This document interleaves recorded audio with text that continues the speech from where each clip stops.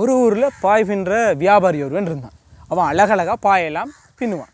அப்போ அவன் பா பின்ன பாயெல்லாம் எடுத்துட்டு ஒரு வேட்டு நாட்டுக்கு போகிறான் வேட்டு நாட்டுக்கு போனவனுக்கு அங்கே ஒரு ஆச்சரியம் காத்திருந்துச்சு.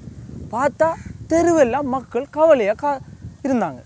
யாருக்கோ காத்து கொண்டு இருந்தாங்க பார்த்தா அரசண்ட ஊர்வலம் வருது. அங்கே இருக்கிற படையணி வீரர்கள் எல்லாருமே கவலையாக இருந்தாங்க. பார்த்தா அரசன் கூட சோகமாக இருந்தான். இவனுக்கு ஒரே ஆச்சரியம். இது என்ன நடக்குதுன்னு. அப்போ அங்கேருந்து ஒரு வயதானாள்கிட்ட கேட்டான். இங்கே என்ன நடக்குது? இங்கே எல்லாருமே கவலையாக இருக்காங்கன்னு இது இந்த ஊரில் சாபம் ஐயா. அஞ்சு வருஷம்தான் யாரும் ஆட்சி செய்யலாம். அஞ்சு வருஷம் முடிய இந்த அருகே காடு அந்த காட்டுக்கு அவங்க போயிடணும் அங்கே பயங்கரமான மிருகங்களும் அரக்கர்களும் இருக்காங்க. அங்கே போனவங்க யாரும் திரும்பி வந்ததே இல்லை. இவனுக்கு ஒரே ஆச்சரியமாக இருந்துச்சு. இப்படியும் ஒரு ஆட்சி காலம் இருக்குதாண்டு. அப்போ ஒரு அறிவித்தல் ஒன்று வந்துச்சு. என்ன அறிவித்தலண்டா? புது மன்னருக்கு ஆனால் தேர்வு நடக்க இருக்கு. நீங்கள் விரும்பி கலந்து கொள்கிறவங்க கலந்து கொள்ளலான்ட்டு அறிவித்தல் வந்துச்சு. இப்போ வியாபாரி பார்த்தான் சரி நம்மளும் போய் பார்ப்போமேண்டு போய் பார்த்தான். அங்கே பார்த்தா ஒரு ஆளும் வரல. வியாபாரி மட்டும்தான் வந்திருந்தான்.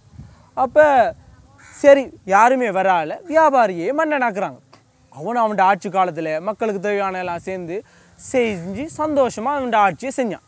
அவன் ஆட்சி காலம் முடிகிற காலம் வந்துச்சு. அப்போ மக்கள் எல்லாம் அதே மாதிரி தெருவில் கவலையோட மன்னரை வழி அனுப்புறதுக்கு காத்திருந்தான். இவன் மட்டும் சந்தோஷமாக சிரிச்சிட்டே இருந்தானாம். மக்கள் எல்லாருக்கும் ஆச்சரியம். இதென்ன? பழமையாக போகிற மன்னர்கள் எல்லாரும் கவலையோட சோகத்தோட போவாங்க. இதென்ன? இந்த மன்னர் மட்டும் சிரித்து சந்தோஷமாக போகிறேன்ட்டு அப்போ அவரை கொண்டு போய் வர விடுற தேரோட்டி கேட்டானா மன்னரே நான் உங்கள்கிட்ட ஒரு கேள்வி கேட்கலாம். சரி கேள்வி இது வரைக்கும் நான் பல மன்னர்களை கொண்டு வந்து இந்த காட்டில் விட்டுருக்கேன். எல்லாருமே கவலையோட சோகத்தோடு அழுதுகிட்டே போவாங்க. நீங்கள் மட்டும் சிரிச்சிட்டே போகிறீங்களே உங்களுக்கு என்ன நடந்துண்டு அப்போ அவன் சொன்னானா இந்த அஞ்சு வருஷ காலத்தில் என்ன இருக்கிற படபலங்கள்லாம் கொண்டு வந்து இங்கே இருக்கிற பயங்கரமான மிருகங்கள் அரைக்கரெல்லாம் அழித்து புது சாம்ராஜ்யத்தையே காட்டுக்குள்ளே உருவாக்கிட்டேன்.